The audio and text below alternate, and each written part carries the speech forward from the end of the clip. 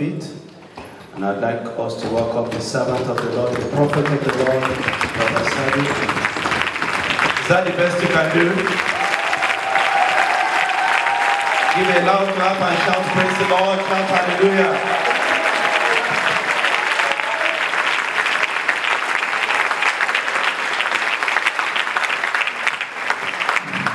Good evening, everybody. I trust you all are well today. Only my dear friend Pastor Andy is always very well. What about the rest of you? I'm sure our good God has been blessing you too much, if not three much. Have you ever wondered why people only say too much? Why don't they say three much or four much? We can always say, no, God is three much. Isn't it? We can say four much, five much,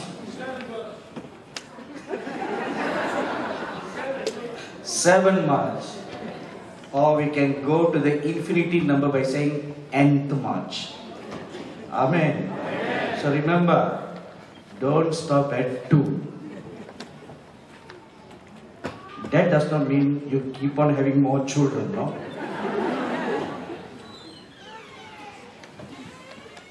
Please, please be seated.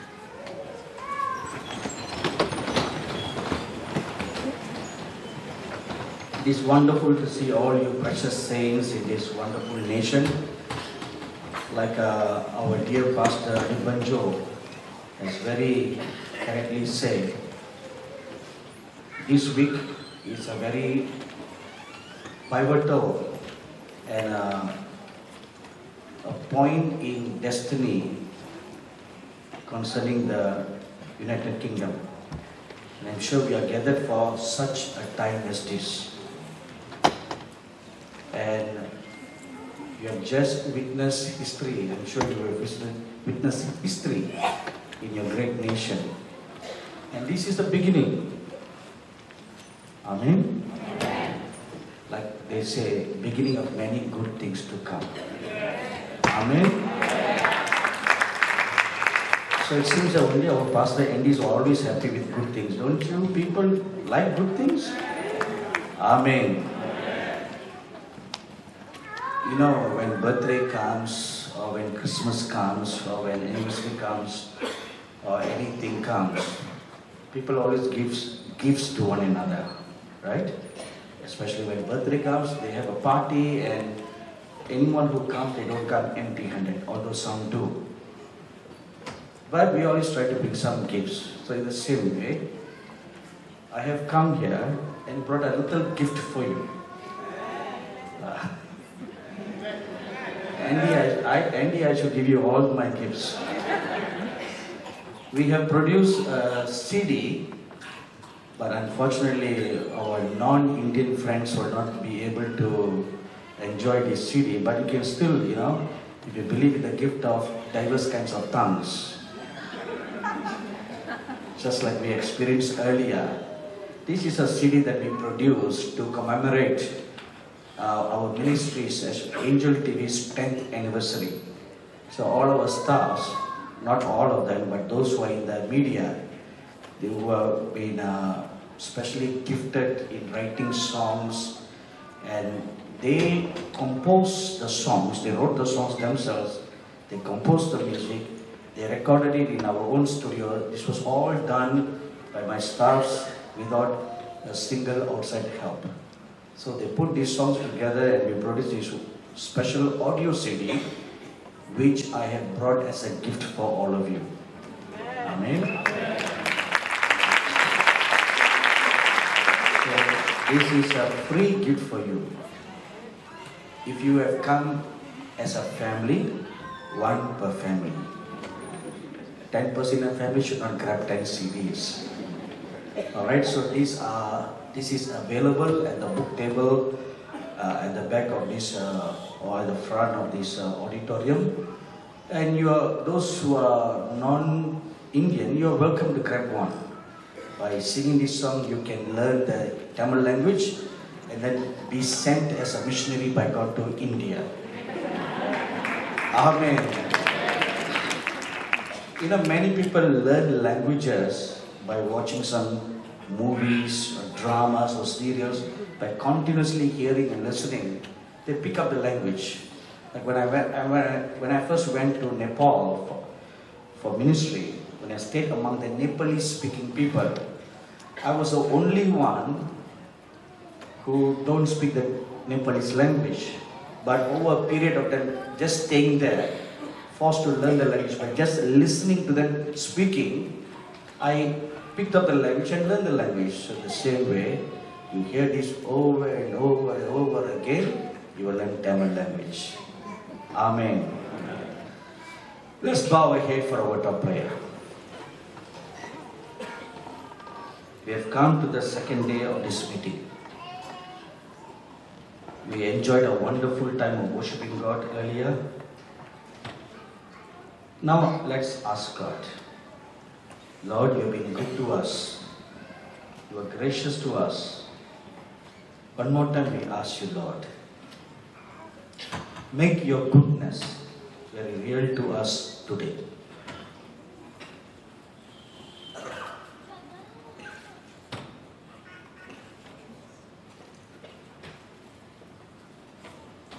Let's quiet our hearts. Let's bring our hearts and mind into one focus, oneness before God.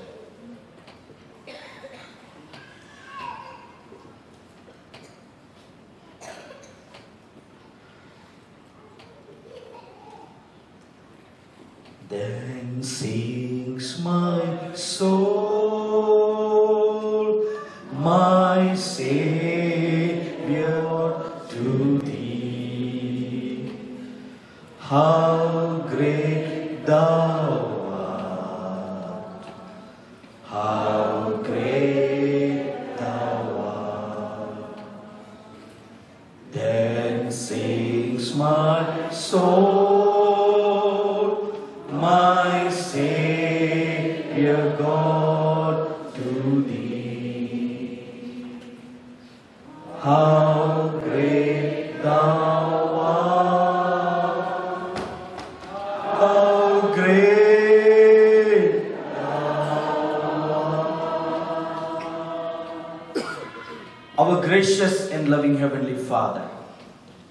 we come before your holy presence in the name of our Lord Jesus Christ this evening. Thank you, Holy Father, for gathering your dear children from far and near today. We have come before your presence to hear your voice speak to us, not to see the face of a man, not to hear the voice of a man, but we present ourselves to hear you speak to us. Open our hearts, Spirit of the living God. Open our ears that we may hear what the Spirit of God will speak to the churches in these last days. You are the Spirit of truth. You are the Spirit of righteousness. You are the King of glory. Thank you, wonderful Lord Jesus. Glorious Jesus. Lord, fill this place now with your holy presence. Let each and every one who gathered here, the young and the old, let them feel your holy presence right now. Let their hearts be filled. Let their minds be filled. And let their hearts be warmed by your love and by your presence right now. Let your holy awe come all over them right now. Thank you, wonderful Lord Jesus. God is going to do a wonderful thing in your lives, in our midst this evening. I feel very strongly in my spirit, the Holy Spirit impressing upon me very strongly. Please kindly remove all your shoes right now. Place it under your chairs. Everyone who's in this auditorium, young and old, please kindly remove all your shoes. I don't normally do this, but I'm, I am seeing the Lord Jesus Christ seated on his throne, and he is going to speak to you. And I'm telling you what I see him doing and saying. Thank you, wonderful God.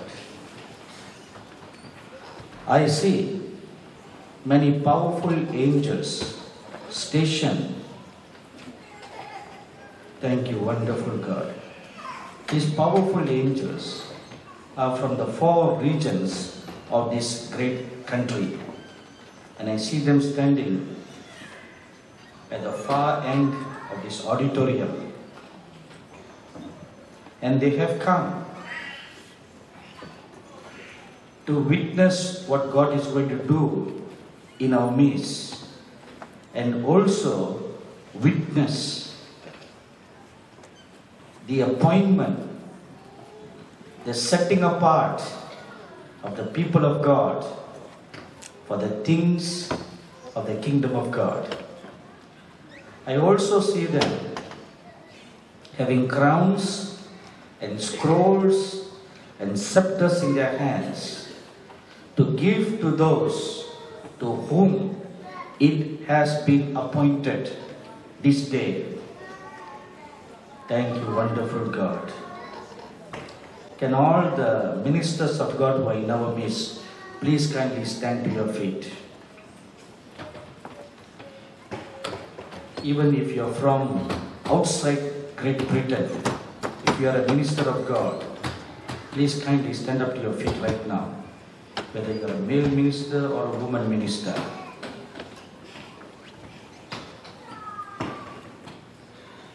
A minister not necessarily is a pastor, but you're, even if you're an evangelist or you're doing an itinerant ministry.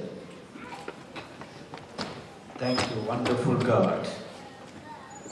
I see these angels now, they come and stand in front of this stage.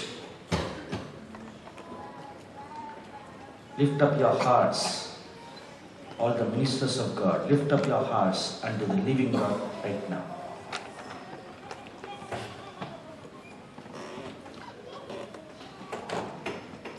The chief among these four angels, the one who is directly the chief prince of this nation over the portion of England now tells me.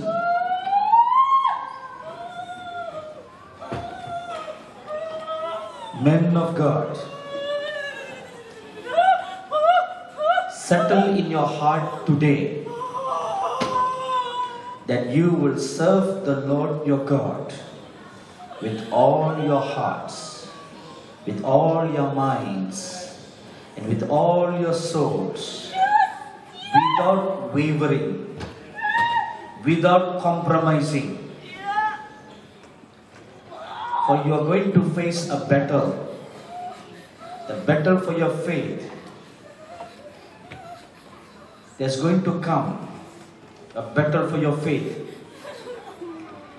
So learn to hold up your shield of faith. Learn to hold it up. And when this word is spoken, I see all these ministers are standing. You seem to be dressed in the armor like a soldier, like those early old century knights in that armor. And I see your shield metalled shield, silvery metal, and there is a symbol of a lion on the front of your shield. Hold it up, hold it up, bold and strong. And there is a sword in your right hand. Lift it up high before the Lord your God. For great will be your warfare, and so will great be your victory.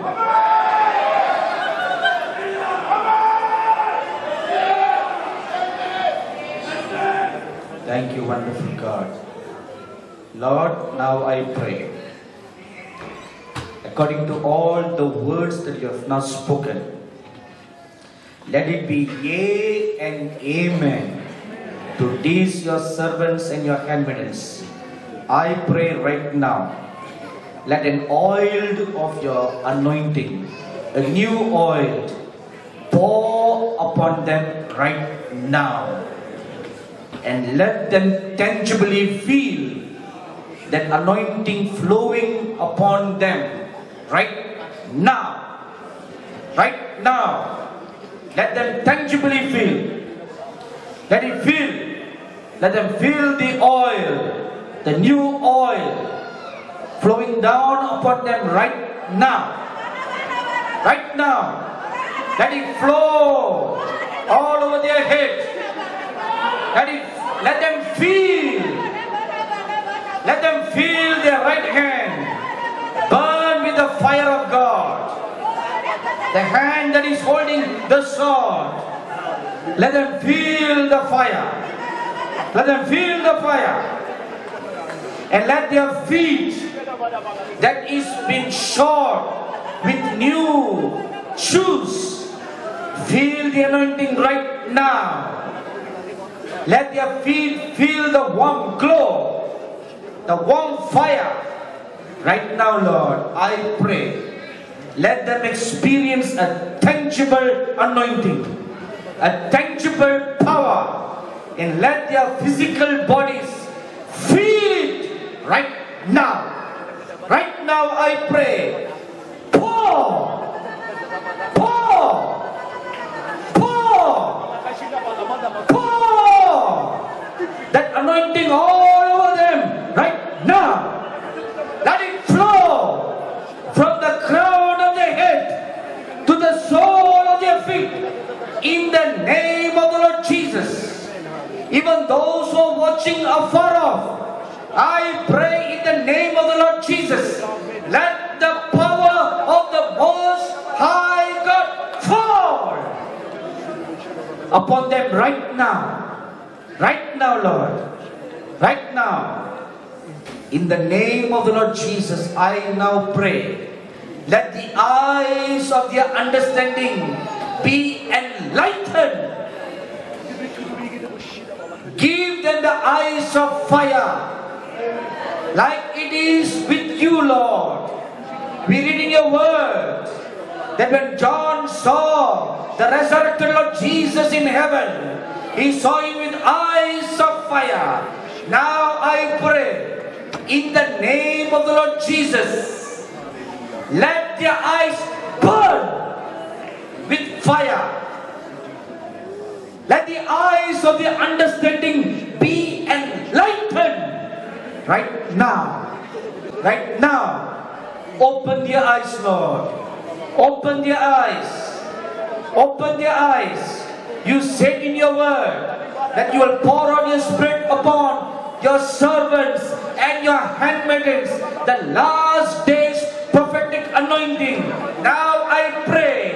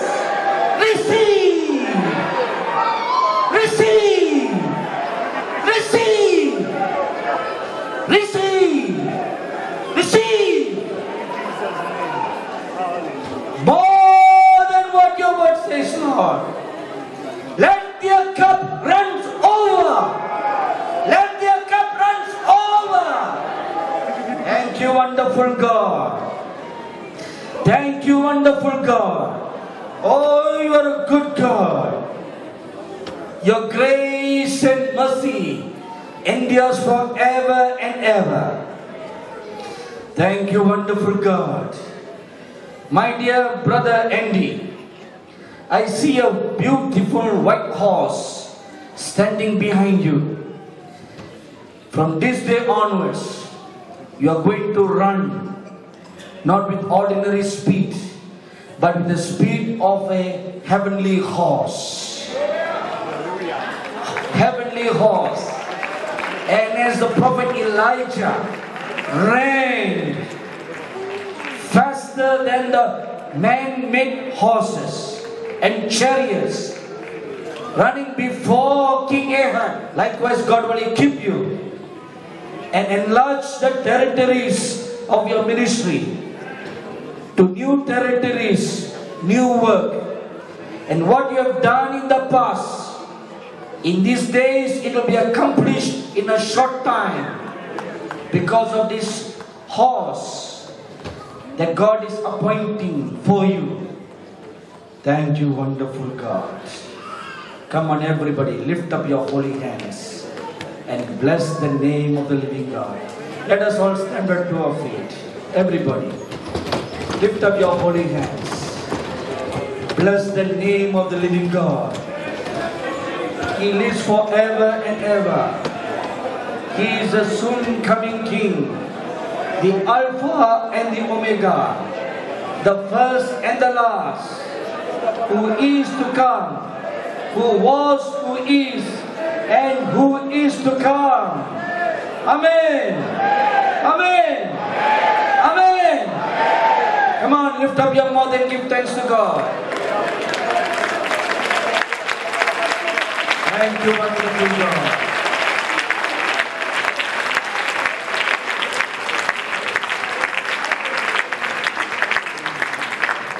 Magnify His holy name.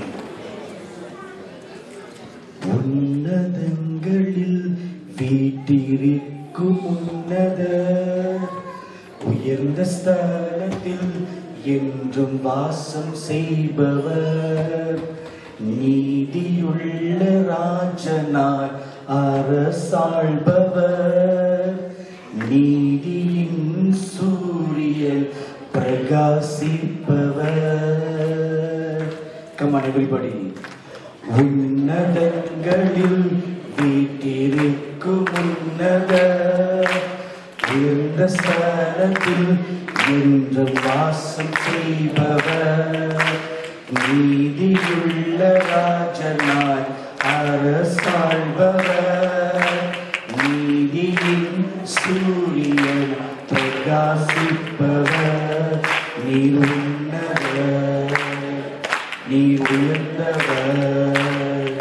நீர் நல்லவர் நீர் வல்லவர் நீர் உன்னதர் நீர் உயர்ந்தவர் நீர் நல்லவர் நீர் வல்லவர். பரிசுத்த மகிமையில் வாசம் செய்பவர் நீதியுள்ள கண்களால்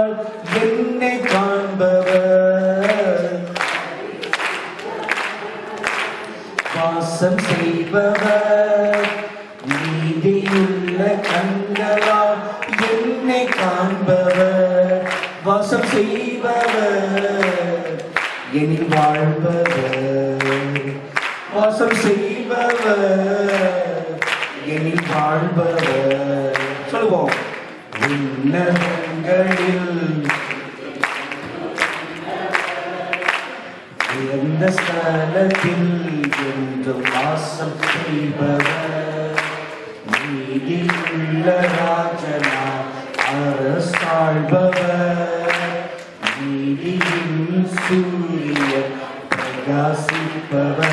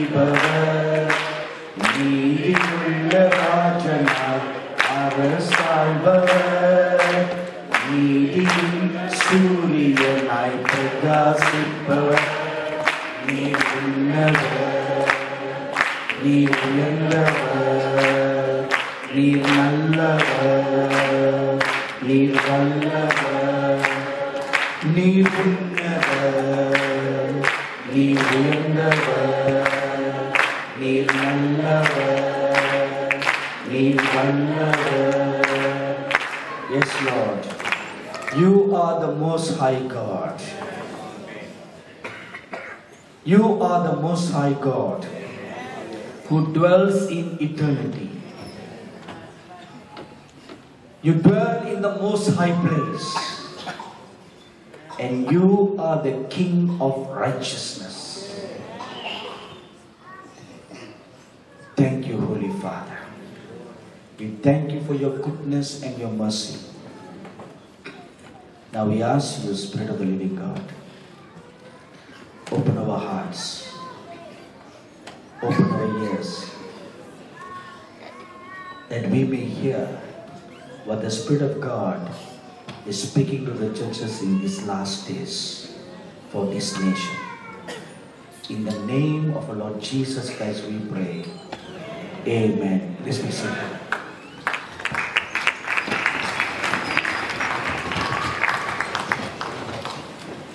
I'm going to continue where what I shared with you last night. Last night I began sharing with you that on the 19th of June at 10, 10 in the morning, the word of the Lord came unto me concerning this nation. And the Lord said, I am coming with scales, balances in my hands, to judge her for her works and ways, for it is not pleasing before me. You know, when we talk about balances, it refers to something that God is weighing. On one side of the scale, it is His standards of righteousness and holiness. On the other side of the scale, He puts our works there. Our works, our righteousness, good, bad, or ugly, on one scale. In all the works that we have done, the works of righteousness, works of unrighteousness, lives of holiness, lives of unholiness, good works, bad works, worse works, whatever they are, they are put in the balances and they are being weighed. That is why at this point of time, even the referendum is like you're standing at a crossroad. Either you turn to your left or you turn to your right. You come to a road where it is like a fox, fox road, you know, where you, you don't know which direction you would want to take. And you need some guidance. In the year 1986, I had been to the northernmost part of India in a state called Ladakh.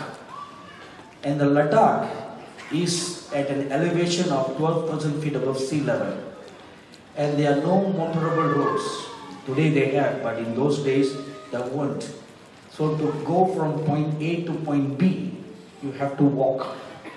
So I, walk, I was walking in that area for 12 days, for 420 kilometers.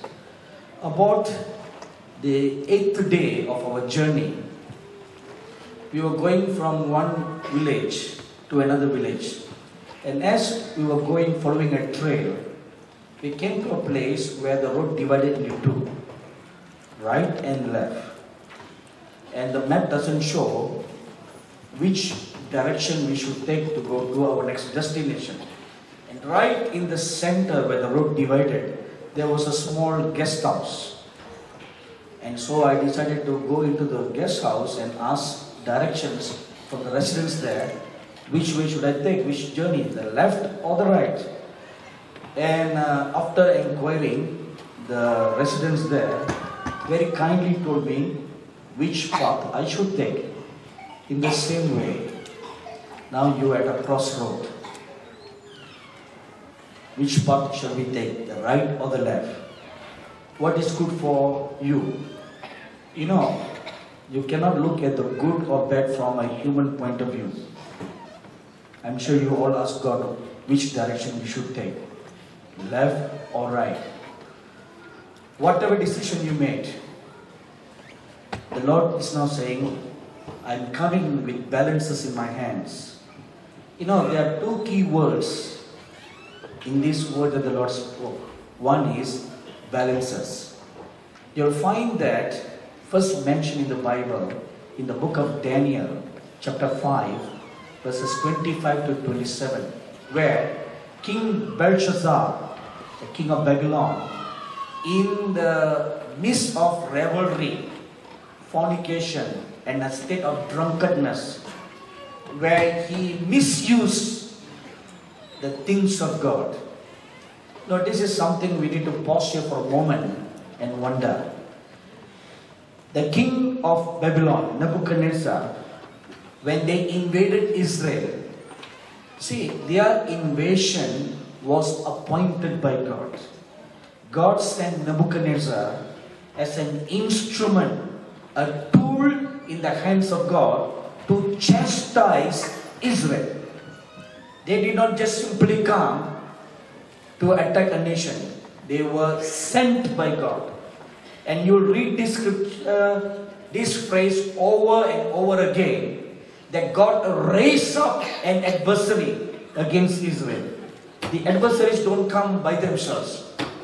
You know, the Bible says very clearly in Zechariah chapter 2, verse 5, and in Zephaniah, that the presence of the Lord is like a wall of fire all around his people. And in Psalm chapter 37, it says, The angel of the Lord encamps round about his people. So when you have such divine protection, no evil can touch you. Can touch you as an individual, touch you as a family, touch your businesses, touch your family, touch your church. Nothing can touch you, not even your shadow. That's how God protects His people as the apple of His eye. But you may ask me a question then why do tragedies come to us? Tragedies come because it's always one of two. One is we must have sinned somewhere and we open a door for the enemy to attack us. Just like in the case of Israel, the adversaries were raised against her because she forgot the Lord her God who called her and she began to serve idols. So Nebuchadnezzar came, he invaded Israel, they plundered Israel, and almost the entire nation, except for a small remnant, the whole nation was taken captives as slaves and brought to Babylon. When they were taken slaves, the sad thing that we must take note of here is even the righteous who were in the land were taken slaves. Daniel was one among them. Nehemiah was one among them. Ezra was one among them. And there were several prophets that you read in the last few books of the Old Testament. They were all taken to Babylon as captives. So when a judgment falls corporately upon a nation, even the righteous suffer. That is why, for your sake, you must pray for the rulers of your country. It is very, very vital for you to pray for your queen. Very vital for your prime minister. Very vital to pray for all those in authority. The Bible tells us to do that in 1 Timothy chapter 2, verses 1 to 5. You know what is the main reason that the Bible, God asks, uh, asks us to pray for them? It is actually for a very self-centered reason. The scripture says, for you to live a good life, for you to live a peaceful life, you pray for them. So for you to be well, good, peaceful, happy, prosperous, pray for those leadership in your country so that they will be led by the Spirit of God and not be led by demon spirits to make wrong decisions. You know, when a leader of a nation, they don't need to be Christians, you know. They can even be heathens. If they are not protected by the prayers of the saints of God, the leaders in the nation will be influenced by demonic spirits to make wrong decisions, to create wrong laws that will bring great suffering for the righteous people. A good example can be found in Daniel chapter 6. The king was influenced by evil advisors, self centered, jealous advisors, and he, without realizing, you know, the amazing thing is this the prophet Daniel was the chief among the advisors.